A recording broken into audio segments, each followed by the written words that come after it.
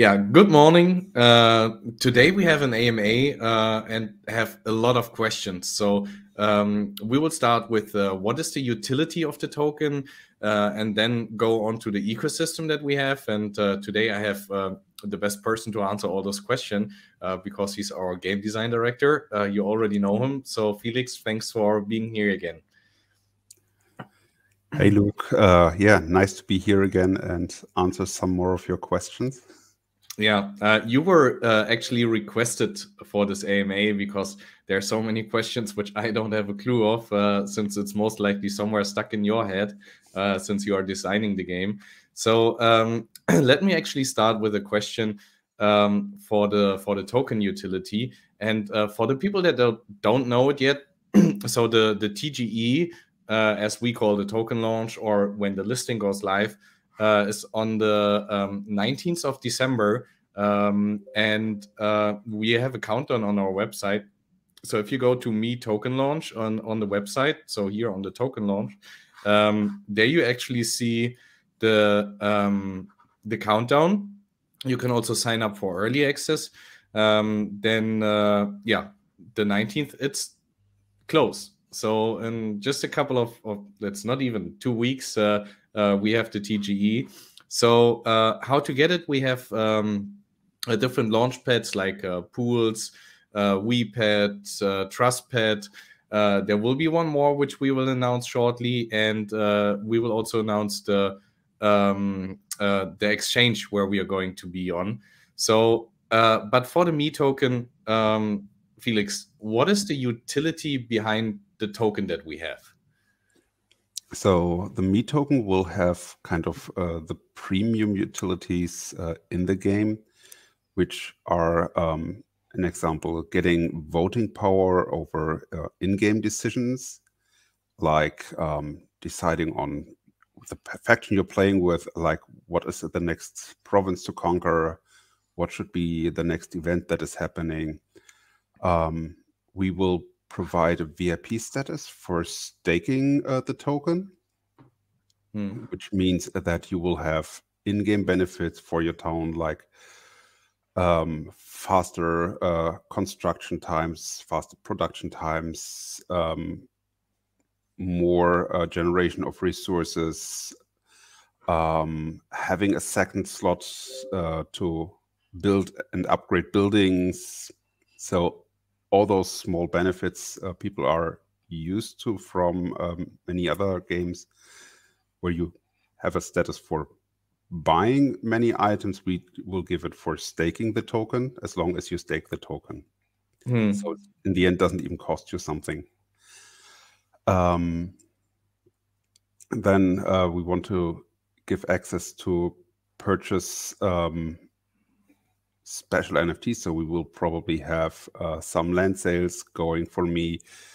Um, we will sell um, cosmetics for me. Hmm. So all the stuff that is making you special in the game, um, but which are not mandatory to play the game. Hmm. Also, you uh, will get some um, use of game features um, that are they're not uh, completely decided on which uh, that will be. Um, players will be able to get some airdrops uh, every once in a while with uh, the token, which can be um, like second currency airdrops um, of our game. I will come to this in a moment. also, Um, also, um, what I might have forgotten. Uh, well, probably players will trade with the Me token in the game. So um, this will probably also be a common thing to use uh, the token for. and, and, I think this is mainly it for the Me token. Hmm. Um, the second currency I've mentioned is um, our silver token. So the one which you are also earning on a regular state in the game. Um, this one will be more used for um, crafting your units, um, high upgrade uh, building levels, um, and sometimes also purchasing stuff in the game, um, which will be commonly used. By the way, I I just uh, opened the game itself so people can actually see. Uh, uh, we've shown that uh, in the last AMA, and you see like uh, the resources like Silver and me. And for that, for example, like this has been running for a long time, so I can collect a lot of stuff. But um, you will be, for example, able to to unlock uh, new areas or something like this with with Silver, right? That's the yes the part of Silver or uh, maybe the the instant upgrades of the buildings is that something that's from um, from the silver or me token um, or is it just this cost here so um, this instant uh, will likely um, be either silver or um, uh, kind of speed up boosters or stuff like this, which can be created in the game. Mm. Uh, so most things that are used in the game will not be based on the me token as the, uh, the value of the me token will vary um, potentially mm. a lot and um, there's a high potential because it's limited in amount that um, the price for it will increase significantly so we have to be careful where we are using this token um, and potentially not use it for mandatory stuff in the game. Therefore, mm. will be uh, the silver token. So the me token uh, will have all the stuff that is related to limited elements. So, like if I said, like um, land is something that is limited, so we would potentially sell land for it because it's only needed for a certain amount of players, but not like the everyday player um, one point where it's kind of for everyone is like the staking, as I mentioned it. Um, here we will uh, also use limitations. So um, if we use voting power, it will be limited to like an example, a thousand uh, me you can stake so that we're not saying, okay, decisions will be made by the ones who own um, the most token. Instead, we want to supported that most players hold a certain amount of me and uh, therefore have access to uh, cool elements in the game and participate in the community. I, I like the workplace uh, when you say I have uh, uh, are holding the most part of me or something like this. Uh, yeah, with me we actually mean the token and not you. but yeah.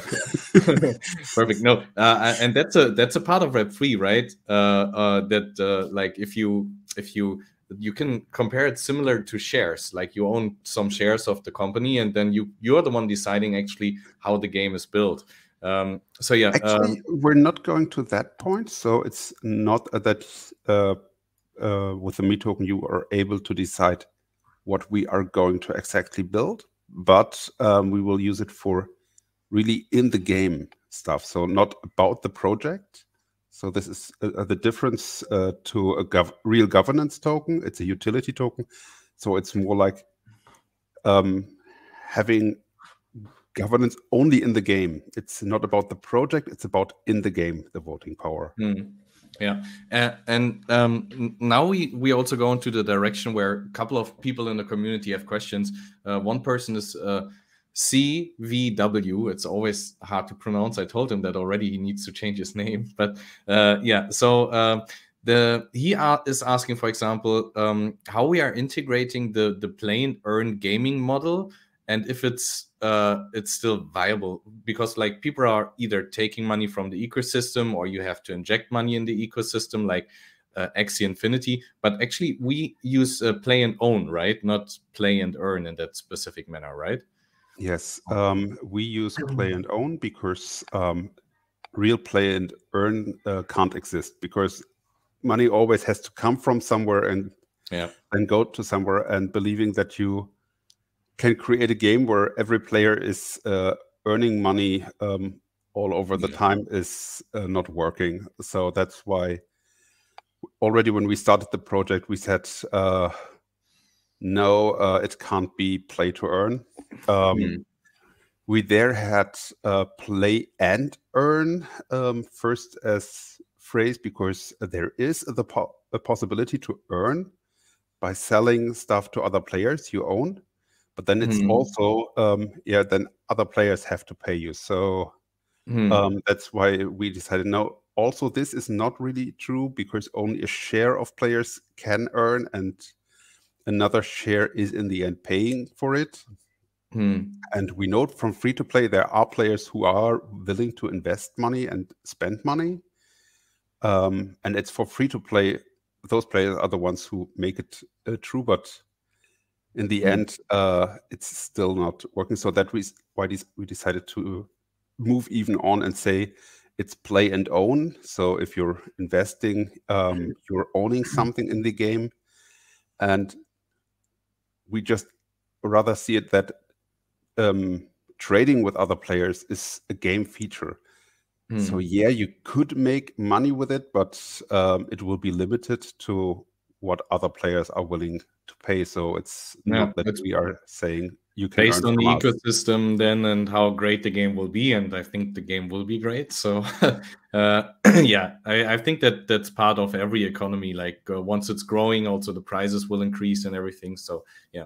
Um, and then um, he he has another question. If we did some kind of um, um, team assessment with uh, team roles, strengths, uh, weaknesses analysis. So just just for this part, uh, yes, we did a SWOT uh, analysis. Uh, we did a delegation board to see who's capable of doing what, and then we like basically shifted the the um, the work based on uh, on the, strengths and weaknesses that that we have in the team. But another question for you: uh, uh, How will the players actually benefit from collecting lineage and legacy NFTs? That's a question that he also had. Okay, so lineage and mm-hmm. legacy NFTs. I try to make it short and simple for the moment. um, so lineages um, will be NFTs you can use in your heroes, and uh, they can become better by being in a hero on during the life cycle of um, that hero, and they will provide a benefit to this hero while it's there. Mm -hmm.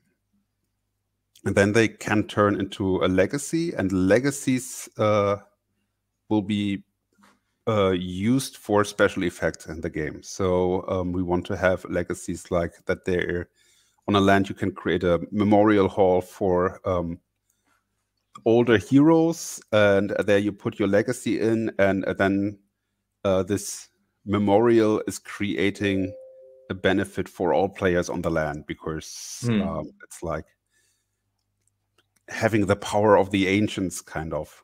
Um, hmm. With such a process, you would uh, for forever lock those uh, legacies into the land, so they can't be claimed again. Mm-hmm. Um, but that's kind of uh, the basic thinking behind of that you use them to get a small benefit. They grow over time. Um, you could also say, oh, I use my legacy to turn it into a higher level lineage again, and then repeat this process and um, have then mm. max strong legacy at the end. Um, also, we want to use it like going back to this memorial thing that we say, hey, if you have a certain amount of legacies um, of heroes from one family, we could uh, unlock the special unit of this family mm. for the players on this land. So um, that's how we want to use it as a direction. Um, going going into the, that direction as well. Um, so, um, what is the prestige of a land? Uh, how, how, does it work, and what benefits will the town uh, or even every land plot uh, have from having a higher prestige? Okay, so um, the rules are not 100% defined. Mainly, uh, the main influence of uh, prestige is activity in the land. So mainly fighting back invaders, taking care about the population, and this by all players on the land. So where you are giving, as a landowner, you give your land slots also to other players, and how active they are participating uh, in taking care about the land. And this is increasing the prestige. Mm. Um, if they're inactive, um, the prestige is going down. Um, the prestige will provide a multiplier to um, the benefits you're getting from your land. So, an mm. example, you have a wheat boost of 3%. Um, uh, this will be able to go up to um, have a wheat boost of 6% mm. uh, on higher prestige levels. Okay. Also, we want to give um, effects just based on a level. So, like level one prestige uh, could give 1% boost in general. So, oh, okay. Mm. So, you always have to there. balance everything. That yeah, you... So, prestige should have a benefit no matter what is the pre prestige level of the land, but also boosts um, mm-hmm. the, hmm. uh, the general benefits of the land so that there's an additional benefit of having a high tier land. Hmm. Yeah. Yeah, it's so, sometimes there are so many things that you have to consider then while playing the game, and I think that's for most strategy games. That's why I love strategy games. It's not just like, hey, there's the master plan, go and do it. Uh, there needs to be a strategy behind it, and that's also a question that uh, that he has is, um, how do you actually consider what are you doing next in the game? Like, should you rather uh, increase the the production or upgrade unit buildings or like uh, spend more time into uh, units or hero or complete missions? So how do we best define which which way we would go inside the game? Um, i think uh, the answer is not easy but, but uh, the answer is not easy. So um, there are multiple factors coming in. So one is um, it, in which phase is are you as a player at the moment? So are you so on the start, um, most of the resources probably will go into upgrade buildings. Yeah, directly. Um, then uh, we are not going for a core game. We want to go for mid core. So we want to create some kind of behavior that you have multiple sessions during the day. Uh, you need rather do shorter sessions um, and then have potentially your longer break during the night. So during the day, you would potentially invest into units mm. to have something you can play with during the day.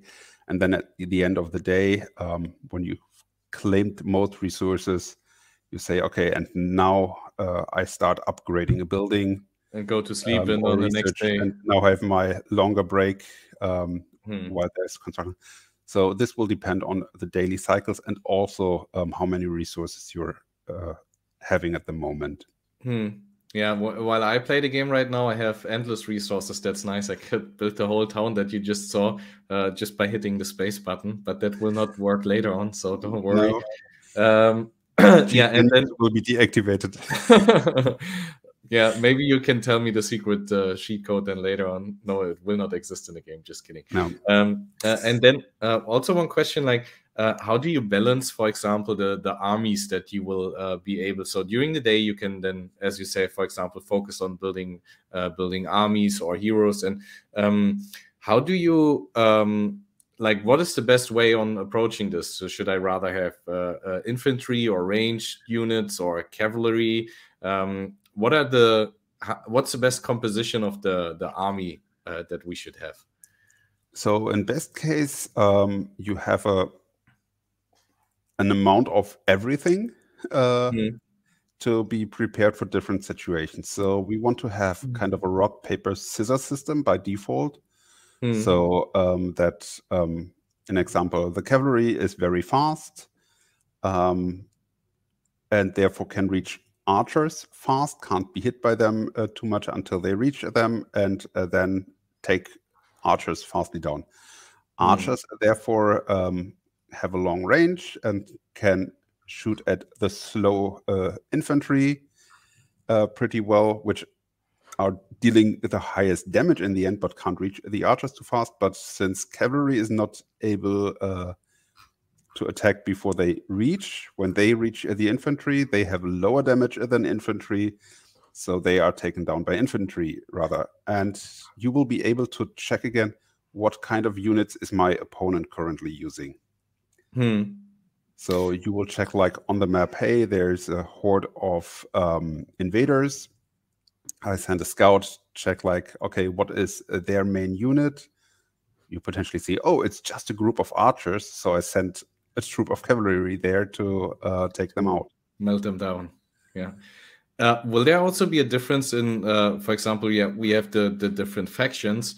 Um, is so will the different factions also have different uh, strength and weaknesses? For example, like the the Crusaders, the Mongols, or like the secret faction that we will have maybe later on. Do they also have uh, different things that I have to consider? Um, we want to take this into account. So, an example, if you compare um, Khaji and Crusaders, um, then if you look at the history, that uh, the Khajis they were more wearing light armor, uh, were rather fast uh, and agile. So they were having an army that was mainly focused on raiding and changing uh, the position fast while Crusaders were more armored, but therefore rather slow. Yeah, um, you saw that when I was wearing the the wait this costume here, slow. Like I played soccer and it didn't work at all. Yeah. yeah. So um, we want to reflect this uh, in the game as good as possible, but uh, the battle balance isn't done for now. So mm. we have to find out what are the best options to bring this in, but we want to bring it in as much as possible. Um, here again, uh, there is one of those uh, nice points with trading. Players will be able to trade units also, so that even if you're having uh, the Kaji faction, you might have Crusader units in your lines because you've traded them from uh, a Crusader player. Okay, I don't think that the KI players will do that, uh, but but let's see uh, how, how, this one uh, will work out. Well, and, you can see it as mercenaries. Yeah. Um, in the past, uh, you had yeah. mercenaries in your lines, and um, hmm. they could have also been from your enemy. Yeah, yeah. I, I mean, everyone who watches like Vikings or whatever you name it, which series, Game of Thrones or something like this, there's always some faction basically or some mercenary faction that comes in and shifts the game around or something like this. But you know i played a couple of games where where you could for example just build archers like all day and then cavalry doesn't matter what came you just had millions of archers and then they were coming and they were falling like flies because i had just millions of archers flying onto their head. So but uh, i mean we can balance it afterwards as well right? If you see that one faction or one unit is too strong, uh, we can adjust it, right? Um, hopefully, we have adjusted before we release the game. And, yeah, uh, we have we, the alpha and beta also. Um, potentially, we want to then rather introduce um, new units uh, that can encounter um, kind of the mistake before, hmm. um, as we want to change as few as possible of what we have released yeah. So that players don't feel like uh, treated of investing in something and then it's uh, uh, yeah, nerfed again. Yeah. I mean, if they have an NFT and now it's less valuable and they they invested a lot in I okay, I get the point. So no changes. uh okay, yeah, perfect. Um and, and then there's another question. Um, um, how does the location of my land affect the the travel time, for example, when I want to fight uh, other players or participate in events that are somewhere else? Is, uh, how does that work? So um, participating in events that are happening on different province, um, there we will not take distance really into account. There we will say, mm -hmm. okay, um, everyone who wants to participate into the event has to um, send everything 12 hours before start or something like this, time will only be um, important with distance if you're acting inside of your province. Mm. So if you're moving your units around inside of your province and want to encounter something there, there we will take distance into account, but not for uh, province switches for events. Oh, okay, perfect. So we want to make sure that all players can participate on events uh, independent from their position, but local effects should have hmm. taken distance into account. Yeah, because because he was asking like if there's a river nearby, will they be faster because they can like go on the river? But I don't think that we don't have boats yet in the game, so they will no. not be faster.